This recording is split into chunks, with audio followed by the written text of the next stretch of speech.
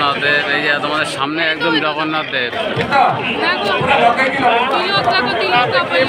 হ্যাঁ, জগন্নাথের একদম ভেতরে থেকে দেখা যাচ্ছে এই যে। একদম সামনে।